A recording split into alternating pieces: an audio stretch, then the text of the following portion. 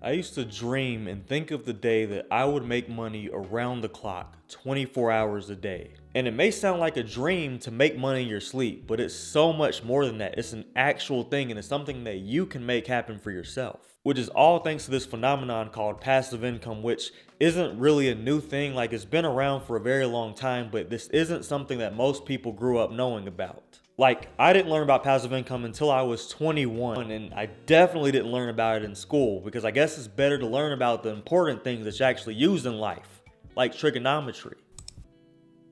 Now, passive income can be hard to earn, but it's very rewarding. And unlike trigonometry, it's actually useful and it can change your life. So I'm about to show you the easiest ways to make money in your sleep. Hey, what's up? My name is Reggie Bryant, and this channel is all about personal finance and personal growth so you can better yourself every single day and live life on your own terms. Let's get into this video. There's a concept out there called time capturing, which is one of the two biggest ways to earn passive income. And it's literally when you trap time in the form of something that lasts forever.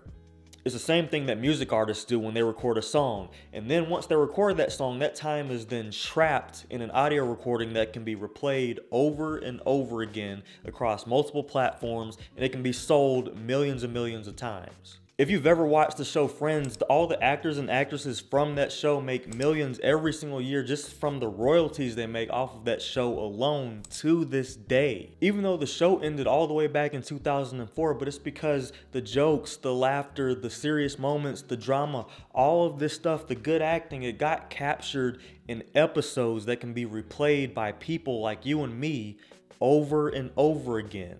That's passive income. Even me, you're watching me right now, this video right here, however long this video ends up being, this time is captured within this video, which can be watched an unlimited amount of times on YouTube. And the more views this video gets, the more I get paid. And that's, that's whether I'm sleeping, eating, reading, working out. It really doesn't matter what I'm doing at all. It's even how I made $800 on my first month ever of being monetized on YouTube. But you don't have to be an actor or a singer to earn passive income. There's tons of different passive income ideas that exist within time capture. It all revolves around you creating something. And if you remember this, you'll always be able to think of passive income ideas on your own. Create something around what you're good at. And the easiest way to make passive income from what you're good at is through digital products. And this can be either through information or entertainment. Let's say you're really good at editing videos. So you record yourself making tutorials of how to edit videos, how to use special effects, how to use presets, how to create presets. And then you compile all these videos into one class, one online class for anyone who wants to learn how to edit videos. You only created the online course one time,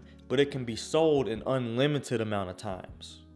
That's passive. You may be really good at making templates on Microsoft Word or Excel, and let's say you're really good with making professional templates. So let's say you want to make a resume or cover letter template that people then buy that you charge for $15 a pop very low effort. You create the templates once and then they're just hosted online. You can host them anywhere on Etsy. You can host them on your own website, on Wix, Squarespace, whatever the case is, and people can buy from this. If you're really good at Excel, and especially if you're good with numbers and formulas, you can make a budgeting spreadsheet that you put out there for people to buy. And especially if you're able to make the budgeting spreadsheet look like attractive, like something that people actually want to type their numbers into, because you know spreadsheets be looking boring. That's something that people would pay for, especially if it already has the formulas entered in there, because then they won't have to do the math themselves. It's official. I'm an adult now because all of those examples were really boring. But those examples of creating spreadsheets and templates are by far the easiest way to make passive income. The only downside is you won't see quite as much passive income as you would with the online courses. But an online course requires way more effort up front, and that's the thing. You're charging people for the value that you're giving them. So with the course, it's going to be a lot longer. It's going to have a lot more time put into it, and you're going to have a lot more information. So you get to charge people more, like way more than a template. I'm talking hundreds, sometimes even thousands per person who buys your course. Then there's the idea of leveraging platforms like YouTube. And this isn't easy by any means, but frankly, there's no easy way to earn passive income because if there was, everyone would be doing it. That said, this is the easiest way to make a lot of passive income with little to no money in the shortest time frame. Nobody can argue with me on that. I'll say this, YouTube is easy in the long run. That's because in addition to what you earn on YouTube from the ad revenue that you get once you hit certain numbers, YouTube is just an overall unique platform because it allows you to channel your earnings through multiple avenues within the larger platform of YouTube. So think of it this way YouTube houses your videos.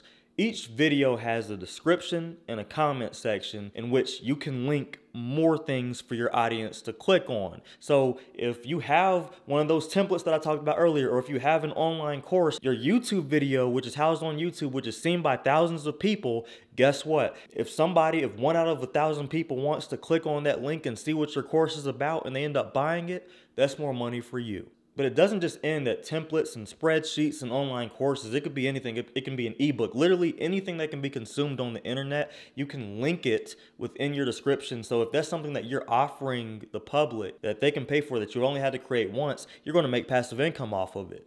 And the really cool thing is the traffic that goes to your website or wherever you're hosting your products and buying your products, that's all channeled through YouTube. It's super easy because for you, there's no marketing, there's no buying ads. This is YouTube pushing your content out to your uh, target audience. And YouTube already has an algorithm that pretty much knows your target audience to a T. So when they see your videos, I just rhymed. So when they see your videos, they also see your description, and your description can have any of the things that you offer linked. And the really cool thing is the traffic that's going to your website or wherever you're hosting whatever your products are, that traffic is completely channeled through YouTube. So if someone's looking for how to invest in the stock market for beginners on YouTube, hold up. I gotta chill with these boring behind examples. I just hold on a minute. I'm about to put myself to sleep. A better example would be if you go to YouTube looking for a video of how to make an at-home movie theater, you're probably going to want to know what equipment you need, right? Because at the end of the day, if you don't use the correct equipment in your homemade movie theater, you're not going to get the ultimate experience that you want to get. It's actually funny because someone in the comments actually asked me to make a video specifically about that. But if I were to make a video on how to build a movie theater at home, I would tell you exactly what equipment you need, what you don't need. I would show you exactly what I use, and then I would link what I use down in the description in, in the form of an Amazon link. And if you click that link and you decide to buy through that link, because you know, typically when people look up to a creator, they're like, you know what, I want to use what that guy is using because he's been helping me out for a while. I'm going to help him out a little bit. You know, I'm going to click on this, I'm going to buy this. And then, you know, then they have the exact same equipment. And so they know that they're not getting BS about the quality because I just showed them in my video what results I get from using the exact same equipment that they're about to buy. You get what I'm saying? And through that, I get a commission, which makes it an entirely passive source of income. Super easy, but the hard part would be to actually build a community and build that trust of people to the point where they actually want to listen to what you say, they listen and believe in what you say, to the point where they want to follow you and look at what products that you've purchased yourself, to the point where they even want to spend money on stuff that you have to offer outside of just your content on YouTube. That is the part that's extremely hard to do. Now, all of those examples are things that you can literally compile into one big fat stream of passive income, or you can have them separate. But either way you look at it, that is all one way of creating passive income. Capturing time in the form of something that lasts forever. And these are very easy on your pockets, but they're not easy on your time at all. They take a time commitment to set up. And they do require that you're good or at least knowledgeable at something. But it just so happens that those are the easiest to scale up your income because think about it.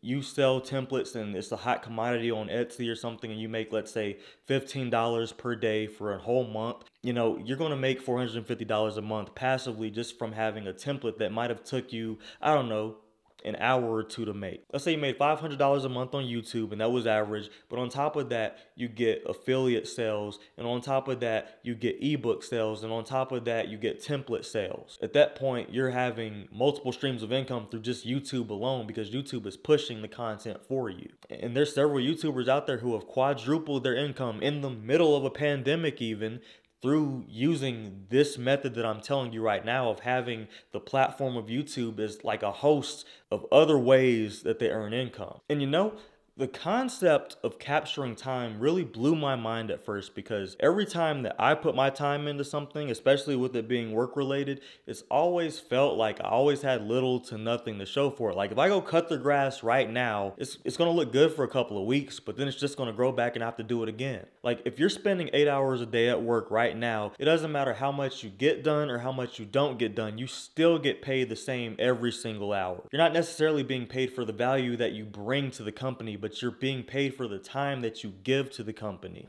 See, it's a lot like you're carrying these buckets full of water and you're walking miles and miles and miles. And it's like you do it for eight hours and you do it every single day. But once the eight hours is up, you have to dump the water. That's a literal representation of how time usually is looked at when it comes to money. So it blew my mind that you could do something one time and get paid for it indefinitely. And for the longest time, my only reality was that my efforts would disappear after I worked a hard 8, 10, 12 hour day and there was nothing to literally nothing to show for it because I had to go back and do the same thing over and over and over again. Like I never liked the idea that my efforts would disappear to the point where every day starts at zero and now I have to go back to work 8 hours, 8 hours, 8 hours, 8 hours and you have to do that 5 times every single week for 5 days just like the bucket analogy suggests, it's because the time that you spend at work isn't captured at all. All of your efforts disappear after that eight hour or however many hours it is that you spend on a normal shift. For a lot of people, it's 10 to 12 hours nowadays. But once that time is up, the value is done. There's no more pay, which is why most people who work, their time, their, their pay is limited to the amount of time that they spend at work and you probably already know this, but even your money can be captured in such a way that you earn passive income from it. And that's through a multitude of different types of investments. And that's the second big way to earn passive income. And this is typically where people hit me with, well, you got to spend money to make money. And to be completely honest, that phrase boils my blood for one, because it's kind of true to an extent, and two, because it's slightly true, it gives people an excuse to be average, or in a lot of cases, below average. Why do you think I'm always talking about saving money? You see, there's more than life than just putting your money into a savings account with little to no return. You know what I'm saying? That same exact money that I tell you to save, a fraction of that can be put into the stock market. And while I can't legally give you investment advice, I can tell you this. The same exact money that I tell you to save all the time, a fraction of that money can be used and invested into the stock market. And while I can't legally give you investing advice, I can tell you this. If you do your research on the stock market, you can decide for yourself if you want to put your money into ETFs, mutual funds, individual stocks, bonds. It doesn't really matter because the bottom line is everyone is going to choose something different because we're all in different stages of life. But just a few hundred dollars every single month invested can and will multiply over time. And if you get into dividend investing, which basically just means that you're putting your money into stocks that are known to pay really good dividends so that you can receive a regular income from those stocks, then you'll literally receive passive income from owning a share of those stocks, whether or not the price of the stock fluctuates. Just some dividend stocks off the top of my head are like the Target Corporation, Johnson Johnson, JP Morgan. This video is not about stocks. Let me slow down some. But you get the idea, right? The same way that you have money going automatically into your retirement accounts, you could be putting money individually into other accounts, whether it's another form of those investments that I talked about earlier, whatever the case is. And you have to do your own research. You have to figure out which ones are the riskier investments and which ones are the safer investments. But the number one rule of investing is always invest what you can afford to lose. You have to use disposable income. And my philosophy is this sure, I can blow $400 a month on whatever I want to on shoes, on clothes, on entertainment, on food. It doesn't matter. I can just, I can spend away. Or I can invest that same $400 into something that can grow. And either way you look at it, that's $400 spent, except one has the capability of growing in price. So I'd rather risk it growing. And if I lose it, well, guess what? It would have been lost if I would have spent it on something else, anyways. And by the way, that's how much money the average person spends every single month on non necessities. Well, actually, that's being generous because the actual number is like 480 something. This is overall the easiest way to earn passive income. You can see results pretty much immediately if you have a decent amount of money in your investment accounts. But the thing about this is it's going to take a lot of time for you to accumulate the amount of money to see some really strong streams of income from your investments. I'm talking like hundreds of thousands of dollars, even millions of dollars to see really healthy, big streams of income coming from just your investments alone. And that's what people mean when they say, let your money work for you. Think of every dollar as an employee and actually think about what you could do with it instead of just wasting it on something you don't need. Now, money capturing obviously is going to be harder on your pockets than the time capturing method because when you do the money capturing method and you invest your money, now you have to hope and pray that the stock market is acting right. So once you put your money in there, it continues to grow over time. And once you put your money in there, you automatically assume the risk of losing some money because the stock market is literally a roller coaster and it's unpredictable. Even though one of these methods is capital intensive while the other is time intensive, here's what you need to understand. They both scare people away, which is probably why we have this huge wealth gap problem that we have right now, by the way. But that's a topic for another video. But anyway, I want you to understand this. Either way you look at it, in your lifetime, you're going to spend both time and money. They're both going to be going by. So the fear of wasting your time or losing money is actually kind of irrational because nobody is telling you to spend every waking moment, every hour of your life working towards something that might fail. You know, nobody's telling you to do that. No one's telling you to spend every dime that you make and put it into investments. No one's telling you to do any of that. So, where does the fear come from? Let's say no matter how much time you put in, you still didn't get passive income out of what you're trying to do. And let's say if you put money into an investment, but you lost money doing so, guess what? time and money went by, but that was not wasted time and that was not wasted money because I guarantee you, you learned something from that experience. And if you learn something, how could you then call it wasted time or money? And the key is you got to use your own discretion, but the whole purpose of this video was so that you can understand the basics of passive income and so you could see ways how you could actually yourself build your streams of passive income and make money in your sleep. Because I don't know about you, but growing up, the only way that I ever knew how to increase my income was to figure out a way to position myself in such a way that I'm able to make the maximum amount of dollars per hour as possible.